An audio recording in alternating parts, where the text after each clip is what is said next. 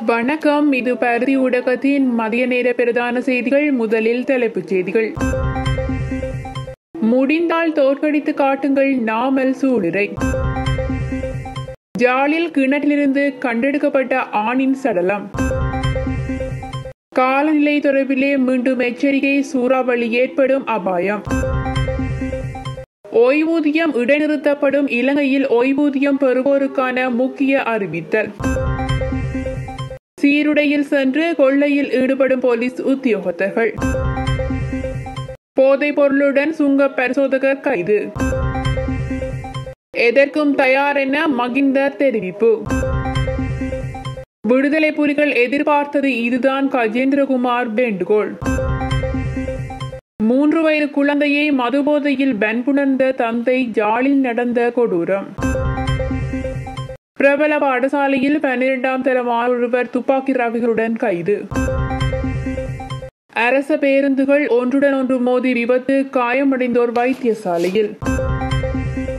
சிறையில் இருந்த காதலனுக்கு ஐஸ் போதைப்பொருள் எடுத்து சென்ற பதினேழு வயது மாணவி பின்னணியில் சகோதரி.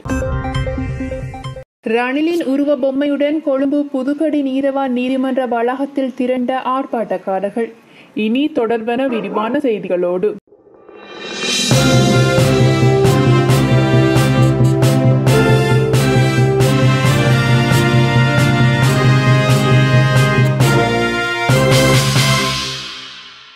ராஜபக்சாக்களை பழிவாங்க நாட்டை அழிக்காமல் அடுத்த பொது தேர்தலில் முடிந்தால் தம்மை தோற்கடித்து காட்டுமாறு நாடாளுமன்ற உறுப்பினர் நாமல் ராஜபக்ஷ சவால் விடுத்துள்ளார். நேகாணல் ஒன்றில் பங்கேற்ற நாமல் ராஜபக்ஷ இதனை தெரிவித்துள்ளார். நாட்டின் ஜனநாயகத்திற்கு மதிப்பளித்து அரசியல் அமைப்பின் பிரகாரம் தேர்தலில் நின்று மக்களின் வாக்கு மூலம் ஒரு நாட்டின் ஆட்சி அதிகாரத்தை பெற வேண்டும். அவ்வாறு செய்யாவிட்டால் போராட்டத்தின் மூலம் நாடு அராஜகம் செய்வதும் விடுதலை புலிகளால் ஏற்பட்ட பாதிப்பும் ஒன்றுதான் என நாமல் ராஜ ராஜபக்ஷ தகவல் வெளியிட்டுள்ளார். கிணற்றிலிருந்து இன்று காலை ஆணொருவரின் சடலம் கண்டெடுக்கப்பட்டுள்ளது. இந்த சம்பவம் மானிப்பாய் போலீஸ் பிரிவிற்குட்பட்ட கட்டுடை பகுதியில் இடம்பெற்றுள்ளது. சடலமாக மீட்கப்பட்டவர் கட்டுடை பகுதியைச் சேர்ந்த ஆனந்தராஜா வயது நாற்பத்தி மூன்று என முதற்கட்ட விசாரணையில் தெரிய வந்துள்ளது மேலும் சடலம் பிரேத பரிசோதனைக்காக ஜால் போதனா வைத்தியசாலையில் வைக்கப்பட்டதோடு மானிப்பாய் போலீசார் மேலதிக விசாரணைகளை மேற்கொண்டு வருகின்றமையும் குறிப்பிடத்தக்கதாகும். இலங்கையில் எதிர்வரும் பதினாறாம் திகதி முதல் இருபத்தி இரண்டாம் திகதி வரையான காலப்பகுதியில் காலநிலையில் மாற்றம் ஏற்படக்கூடும் என வளிமண்டலவியல் திணைக்களத்தின் பணிப்பாளர் நாயகம் அதுல கருணாரட்ன தெரிவித்துள்ளார். இந்த நாட்களில் மழை அதிகரிக்குமா அல்லது சூறாவளி ஏற்படுமா என்பது உறுதி செய்யப்படவில்லை எனவும் அவர் கூறியுள்ளார். எதிர்வரும் பதினாறாம் திகதி முதல் இருபத்தி இரண்டாம் திகதி வரை அந்தமான் தீவை சூழவுள்ள நிலைமை தற்போது காணப்படுவதனால் காற்றழுத்த தாழ்வு நிலை சிறிதளவு வளர்ச்சியடைந்து வருகிறது. இது சூறாவளியாக மாறி இலங்கையை பாதிக்குமா என்பதை இன்னும் உறுதி செய்யப்படவில்லை. எனினும் அவ்வாறான நிலைமை ஏற்படுவதற்கு வாய்ப்பு உள்ளதாக பணிப்பாளர் நாயகம் தெரிவித்துள்ளார். வளிமண்டலவியல் அமைப்பு மற்றும் வழித்தரத்தில் உள்ளிட்ட நீராவியின் அளவை பொறுத்தே அனைத்து அமையும் என அவர் சுட்டிக்காட்டியுள்ளார். சமீப நாட்களில் ஒரு குளிர்கால நிலை ஏற்படக்கூடும் எனவும் முக்கியமாக இந்தியா முழுவதும் திடீரென சூறாவளியுடன் கூடிய காற்று தோற்றம் ஏற்படும் எனவும் பின்னர் சூறாவளி திருகோணமலையிலிருந்து வடகிழக்கு திசையில் சுமார் முன்னூற்றி எழுபது கிலோமீட்டர் தொலைவில் இருந்து இதன் காரணமாக நாடு முழுவதும் சீரிடப்பட்ட காலநிலை நிலம் நிலைமையானது நிலவும் எனவும் அவர் மேலும் கூறியுள்ளார். இலங்கையில் ஓய்வூதியம் பெறுவோருக்கு முக்கிய அறிவிப்பொன்று வழங்கப்பட்டுள்ளது. அதன்படி அடுத்த வருடம் மார்ச் மாதம் முப்பத்தி ஓராம் தேதிக்கு முன்னர் ஆயுள் காப்புறுதி தரவு முறையை புதுப்பிக்க வேண்டும் என அறிவுறுத்தல் வழங்கப்பட்டுள்ளது. அவ்வாறு புதுப்பிக்காத ஓய்வூதியக்காரர்களின் ஓய்வூதியம் இடைநிறுத்தப்படும் என குறிப்பிடப்பட்டுள்ளது. இந்த விடயத்தை ஓய்வூதிய பணிப்பாளர் நாயகம் ஜகத்தி டயஸ் அனைத்து மாவட்ட மற்றும் பிரதேச செயலாளர்களுக்கும் எழுத்து மூலம் அறிவித்துள்ளார்.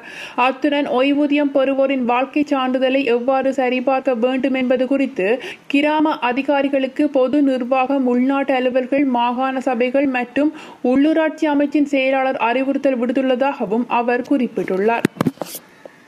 போலீஸ் போதைப்பொருள் தடுப்பு பணியகத்தின் அதிகாரிகள் என கூறி தேடுதல் நடத்துதல் போல் நடித்து மீதெட்டுமுள்ள பிரதேசத்தின் வீடொன்றில் கொள்ளையிடப்பட்டதாக கூறப்படும் நாடாளுமன்ற போலீஸ் பிரிவின் போலீசார் உத்தியோகத்தர் உட்பட மூன்று பேர் கைது செய்யப்பட்டுள்ளனர். சந்தேக நபரான போலீஸ் உத்தியோகஸ்தர் உட்பட மூன்று பேரும் ஐஸ் போதைப் பொருளுக்கு பொருளை பயன்படுத்த பணத்தை தேடிக் கொள்வதற்காக போலீஸ் சீருடையில் சென்று இந்த கொள்ளை சம்பவத்தில் ஈடுபட்டுள்ளதாகவும் போலீசார் தெரிவித்துள்ளார்கள். சந்தேக நபரான போலீஸ் உத்தியோகத்தர் கடந்த ஒன்பதாம் தேதி இரவு கடமை முடிந்து சீருடையிலேயே தன்னுடைய இரண்டு சகாக்களுடன் முச்சக்கர வண்டியில் மீதட்டுமுள்ள சந்தியில் ரயில் பாதைக்கு அருகிலே உள்ள வீட்டுக்குள் புகுந்து தேடுதல் நடத்துவது போல் நடித்து வீட்டில் இருந்த ஒருவர் அணிந்திருந்த தங்க மோதிரங்கள் உட்பட சுமார் முப்பத்தி ஐயாயிரம் ரூபாய் பெறுமதியான பணம் மற்றும் பொருட்களை கொள்ளையிட்டுள்ளார். ஹொக்கைன் போதைப்பொருள் கலந்த மாத்திரைகள் மற்றும் குஷ் என்ற போதை மாத்திரையை தன்வதம் வைத்திருந்த சுங்க பரிசோதகர் இருவரை போலீசார் போதைப்பொருள் தடுப்பு பணியகத்தின் அதிகாரிகள் கைது செய்துள்ளார்கள்.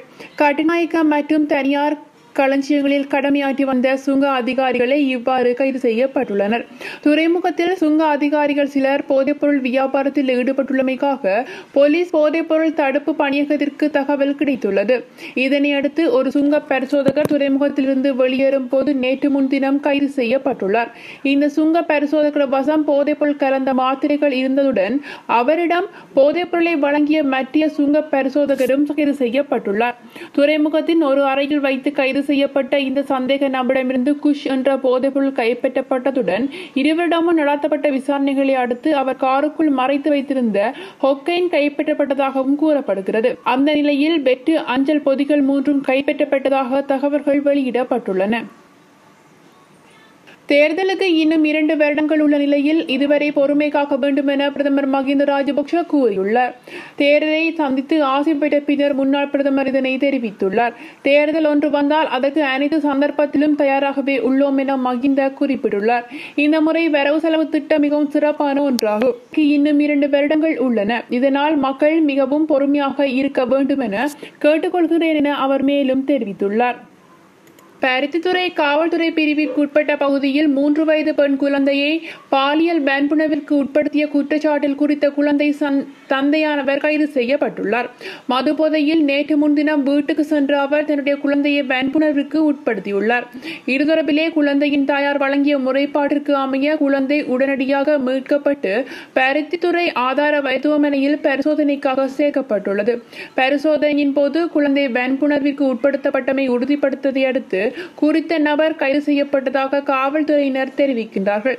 சந்தேக நபர் கஞ்சா மற்றும் கசிப்பு போன்ற போதைப் பொருளுக்கு அடிமையானவர் எனவும் பணத்திற்காக தன்னுடைய மனைவியை புடலுடன் உடலுறவிற்கு ஈடுபடுமாறு கட்டாயப்படுத்தி வந்துள்ளார் எனவும் முதற்கட்ட விசாரணையில் தெரிய வந்துள்ளது இந்த சம்பவம் தொடர்பிலே மேலதிக விசாரணைகளை பருத்தித்துறை காவல்துறையினர் முன்னெடுத்து வருகிறார்கள்.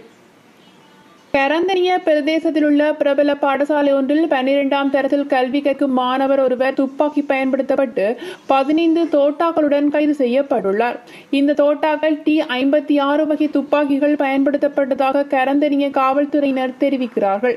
சம்பவத்தின் போது வீடொன்றின் அறையில் மறைத்து வைக்கப்பட்டிருந்த வெடிமருந்துகளை கைப்பற்ற சென்றபோது காவல்துறை அதிகாரிகளின் கடமைக்கு இடையூறு விளைவித்த குற்றச்சாட்டிற்காக அவருடைய தந்தையும் கைது செய்யப்பட்டதாக கூறப்படுகிறது. மாணவர் ஒழுங்கு ஒழுங்கமைக்கப்பட்ட குழு கூட்டத்தில் தொடர்பிலே மேற்கொள்ளப்பட்டமை தொடர்பில் தகவல் கிடைக்கவில்லை எனவும் காவல்துறையினர் சுட்டிக்காட்டியுள்ளார்கள். கொழும்பு குருநாகல் பிரதான வீதியில் மெட்டிகும்பருவ அருகே இலங்கை போக்குவரத்து சபைக்கு சொந்தமான இரண்டு பேருந்துகள் ஒன்றுடன் ஒன்று மோதி விபத்துக்குள்ளானதில் மூன்று பேர் காயமடைந்து வைத்தியசாலையில் அனுமதிக்கப்பட்டுள்ளார்கள். இந்த விபத்தானது இன்று அதிகாலை நான்கு முப்பது மணியளவில் இடம்பெற்றுள்ளது. கொழும்பு நோக்கி சென்ற பேருந்து மத்திய பேருந்தை முந்திச் செல்ல முற்பட்ட போதே இந்த விபத்து ஏற்பட்டுள்ளது. அனுராதபுரம் பேருந்து டிப்போவுக்கு சொந்தமான இலங்கை போக்குவரத்து சபையின் இரண்டு பேருந்துகளை இவ்வாறு விபத்துக்குள்ளானதாக தெரிய வந்துள்ளது இந்த விபத்தின் பின்னால் பின்னால் வந்த பேருந்து நடத்துனர் மற்றும் முன் இருக்கையில் இருந்த பயணித்த இருவர் என மூன்று பேர் காயமடைந்துள்ளார்கள். அவர்கள் குருநாகல் வைத்தியசாலையில் அனுமதிக்கப்பட்டதோடு சம்பவம் தொடர்பாக மேலதிக விசாரணைகளை பொல்கேவல காவல்துறையினர் முன்னெடுத்துள்ளமை குறிப்பிடத்தக்கதாகும். துப்பறை சிறைச்சாலையில் விளக்கமறியலில் வைக்கப்பட்டுள்ள காதலனை பார்ப்பதற்காக ஐஸ் போதைப் பொருளை எடுத்துச் சென்ற பதினேழு வயதுடைய பாடசாலை மாணவி ஒருவர் கைதாகியுள்ளார்.